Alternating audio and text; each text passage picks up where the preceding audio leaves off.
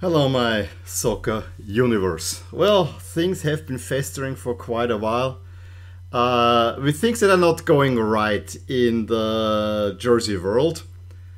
Uh, but I reached a boiling point on Friday when I heard that the Clasico will be played in these colors. Yeah, not quite. Barcelona will play in yellow, but I don't have a yellow uh, Barcelona jersey. But you know, yellow with red gives orange. So that just Oh, the commercialization, hard word, that is happening, especially for uh, the Super League clubs, uh, is just going beyond, beyond anything that is uh, that I I'm willing to uh, accept or be silent about.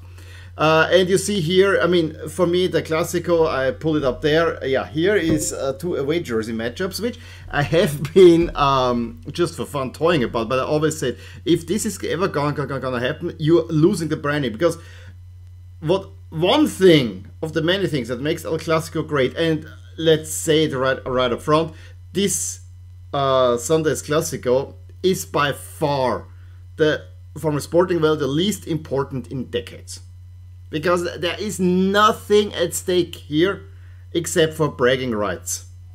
Barcelona maybe need to win a little bit more for a top four spot. Madrid have such a comfortable lead that they can just play it out nicely. So what a perfect spot to hopefully a forgettable Clasico. And the worst thing that can happen is that this will be a Clasico for the ages. Is yeah, let's celebrate Real Madrid with a 120th anniversary and we get Yamamoto in to design another special kit for us, which of course is not white, but is again black. Hmm. And we have to wear this in a home game. Uh, and then to top it all off, to top it all, I mean, Yamamoto, the Dragon Kit, that was spectacular. Um, I have never regretted not picking it up. I had two or three chances uh, back in the day, and uh, but I never regretted picking up because I have this black Real Madrid shirt, and I always thought that this is the nicer looking shirt. Uh, it is just more classy. It's the 100th uh, anniversary shirt, so I was totally fine. That one was special, but this was part of a regular collection. This new one will be just worn in the Clasico, then probably forgotten about. It is not even something special I mean, uh, there's some zigzaggy lines on there, and then there's a, a, a rather odd hand-painted font, which I'm not sure if La Liga will even let them wear that, because La Liga have their own font, but you know, I guess for Real Madrid they will again make uh, reverence there. But the jersey to me is nothing special, and it actually looks cheap with the Y3 logo on there and not an Adidas logo. It looks kind of a little bit fake. I've read these comments and I actually do agree with that. And then, you know, I mean, the Emirates Fly Better sponsor, don't make it better. Absolutely. Uh, so the jersey to me doesn't look even special and it sells, and this is the, this to me is the absolute killer for that one. Okay, bring out a special jersey, make it. You're selling for 180 euros. 180 euros for this piece of S I'm sorry. This is just taking it. I mean, this is taking Napoli, and I'm gonna get to Napoli. I'm wearing Napoli for a reason. This is just taking what Napoli is doing to another level. It is absolutely crazy. I mean, uh, it started more or less with these guys when Juventus had the Palace uh, uh, kit, which actually at that season was the most Juventus looking thing that was there. Uh, but yeah, okay, it was worn in one match and it sold for low, low, loads of money. I don't know. I think it's largely forgotten about in many ways. So um, it just drives me nuts, and it drives me nuts. I mean, I'm okay if this is worn in, uh, you know, even played in a Madrid derby, because the Madrid derby anyway, uh, there's usually a color clash. There, I maybe can even can potential, but not in the most marquee match, one that is so much white against Blaugrana one of the most iconic color combinations out there. That is, there's El Clasico. Meanwhile, is its own brand even. So I mean, uh, you don't mess with this brand. Now you have black against yellow. Rather uninteresting to watch. So uh, yeah, I probably will have El Clasico at least on the second screen, but it screams to me that I should watch the Côte d'Azur derby on that one because I, I I'm so bugged by this. But this is not the only thing. I already mentioned Napoli. Um, yesterday, I decided, okay, let's watch Napoli. And what do I see? A 13th kit of the season. And a 13th that sells at least, I think for at least 120. Because all the Napoli kits, and I've been saying jokingly in my, in my review, uh, maybe this is the time because I always had the idea I want to have an Armani suit, blah, blah, blah. Yeah, this is maybe the one uh, time I will get an Armani uh, shirt. 13 kits 13. And I think the only one that looks okay is the recently released third kit, the Flame kit. But then they made a European version out of that. That looks uh, that it was worn in a destruction against Barcelona. Uh, this is a nice connection. That uh, yeah, ridiculous. I mean, especially in a city like Naples, selling a shirt for 120. I mean, it is I'm, I want I don't want to say it's a ghetto city or whatever because I, I, I don't want to subscribe, subscribe to stereotypes, but we know already that the south of Italy is not as rich, and especially uh, Napoli, the supporters they live for their team. To fleece them with jerseys that actually most of the time look rather cheap. In many ways, it's a Kappa jersey uh, that has EA7 on it. I find this absolutely ridiculous, and it's all mm, finance, finance, finance me. Um, and unfortunately, why I'm wearing this shirt because it started with this jersey, more more or less. They saw ah Maradona sales. Now we have four Maradona jerseys, none of which look actually really good, because the whole image up there it doesn't look it, it looks weird. I said the white one is the one that I personally think looks best, because there it actually blends in a little bit more. But nah, it ah this has to stop. This is just absolutely ridiculous. And then um, going further, we have for, for, for next season the Adidas teams, all the the good the top teams get a so-called Lux pack. I mean, uh, this blend of fashion and soccer just drives me nuts. The Lux pack is okay. We take the Louis Vuitton pattern and plaster it and replace it with Juventus and Turin, uh, and Turin logos and we probably will sell this all for at least 400 euros or whatever. It just drives me nuts.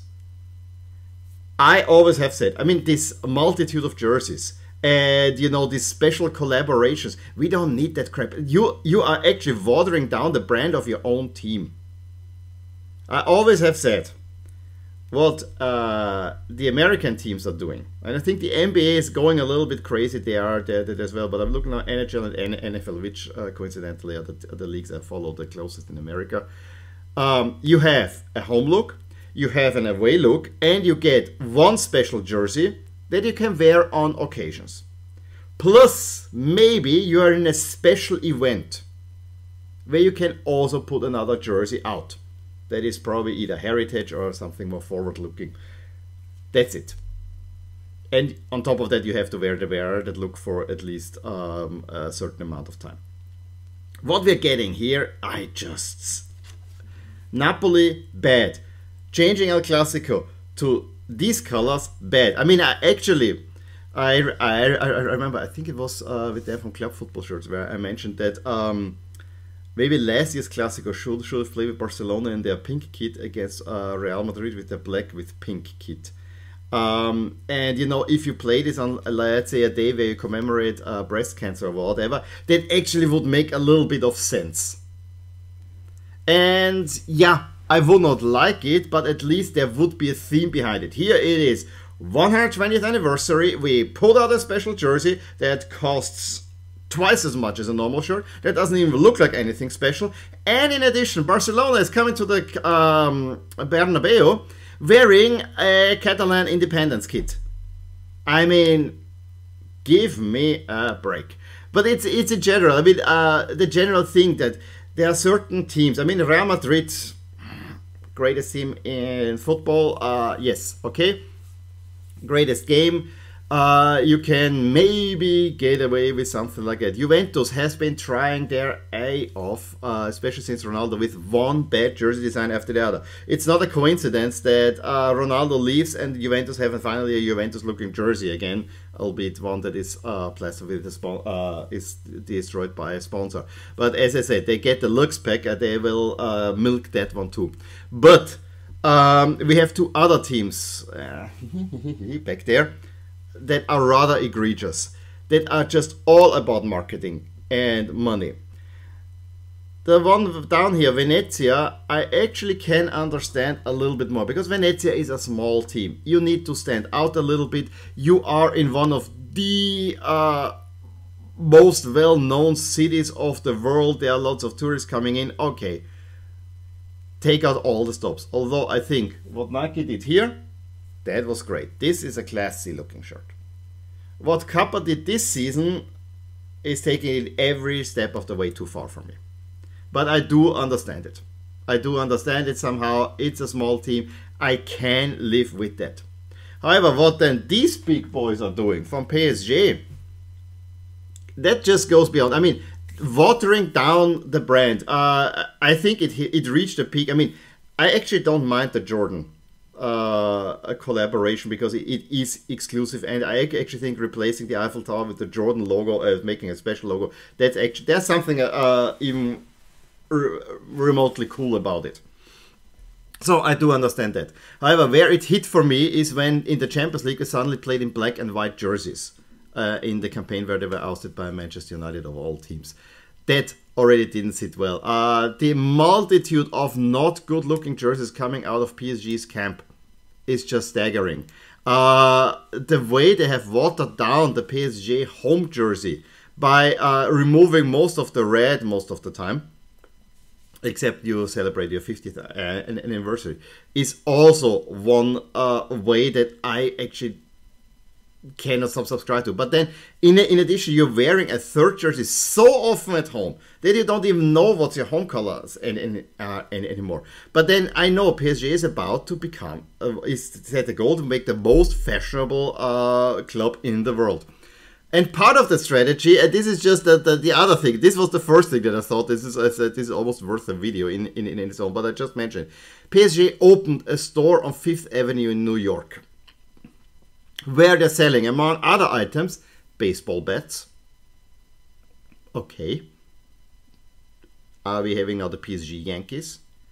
And then security vests, bright orange with the PSG logo on there and NY. Give me a break. I mean, I clearly I don't understand fashion. I wear soccer jerseys. I don't understand fashion. But that is a step too far. This is just. What is this? What is this? I mean, no wonder you're a mess as a team when you're all about marketing. I mean, we already know the superstars are always in to brand the team and market it, blah blah blah, to the non-soccer fan. But as a soccer fan, all these trends are rather offending. And as a collector, selling uh, these things off for incredible prices. I mean, I'm not gonna go for any of these. But this is just at least one, two, if not three steps too far. Issuing jerseys in limited runs, okay, I can actually even live with the Carnival jerseys or the Oktoberfest jerseys and, and so you know, for one occasion, that's your special jersey. Maybe in that sense, I can even with Real Madrid. But for me, what I don't like about Real Madrid is this jersey is nothing special. It sells for 180 and it looks like a fake jersey and on in addition the great the uh, what I consider the greatest uh, game in the sport uh, is losing its visual identity. What Napoli is doing, 13 kids, absolutely crazy. What Venezia is doing, um, four kids.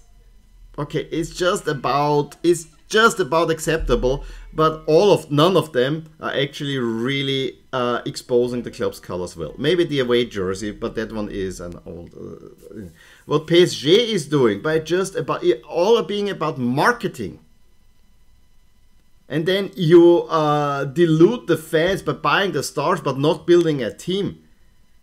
I just hate it. I mean, I've always want to say if you look at Bayern and Manchester City, two teams that I have no love for, at least they're building teams. At least they're building teams and they're not going crazy on that front. So, yeah, uh, I would like to hear your thoughts on that. Rant over. um, I really want to hear what you think about it. Uh, give me a thumbs up if you enjoyed this video. Uh, drop a comment below and subscribe to my channel if you want to see more jersey related videos. And I will talk to you soon. Bye. Hey there. I really hope you enjoyed this video. And if you did, here are some videos and playlists that you might enjoy too. Also, please consider subscribing to my channel as it will keep you updated on all the things that are rotating in my soccer universe. And with that, to wish you a wonderful day. Bye.